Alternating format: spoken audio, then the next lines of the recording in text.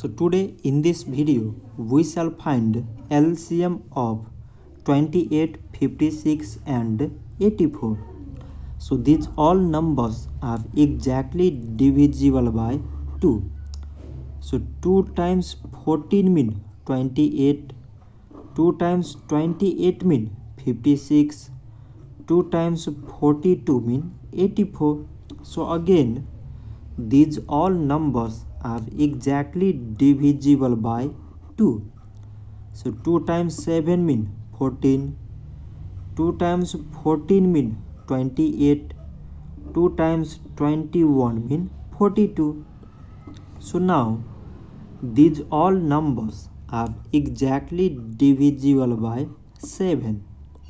So 7 times 1 mean 7, 7 times 2 mean 14, 7 times 3 mean 21.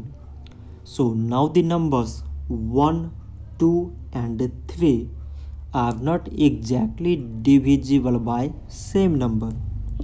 Therefore its LCM is equal to from this side it is 2 times 2 times 7 and from this side we choose the numbers greater than 1 that is 2 and 3 so multiplied by 2 and 3 so by multiplying all these numbers we get 168 so 168 is the LCM of 28 56 and 84 so this much for today and thanks for watching